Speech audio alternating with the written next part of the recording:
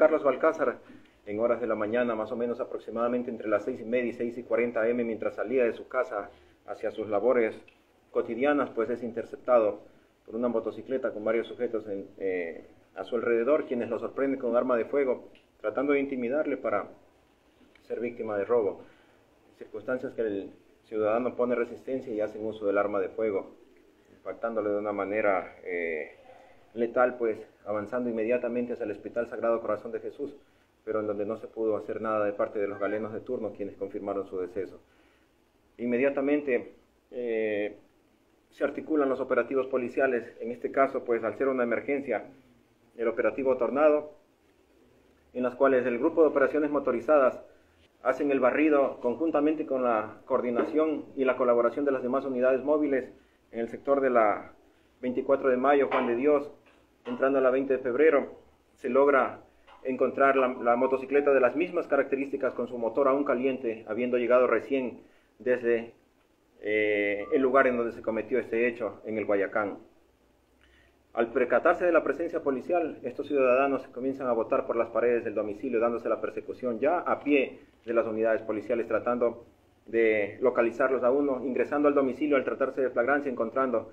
las evidencias que tenemos aquí presentes. De igual manera, pues se logra la captura de los tres ciudadanos, en donde presumiblemente luego de que se coordina con las unidades investigativas para hacer el respectivo barrido panorámico,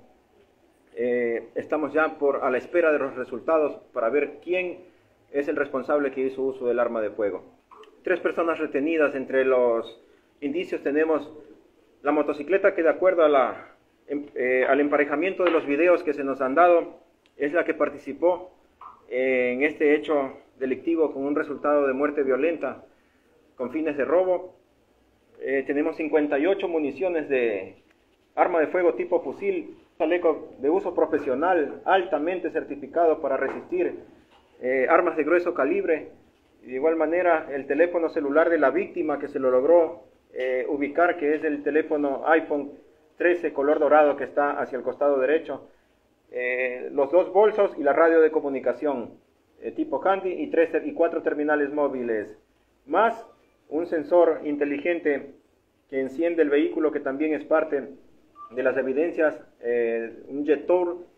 fabricación china con placas del Pichincha como novedad clonado puesto poseen antecedentes penales. Se prevé y se presume de acuerdo a uno de los bolsos que está ahí que es específicamente el mismo bolso que, participó de acuerdo al emparejamiento de los videos en el robo reciente del Chifa Muralla,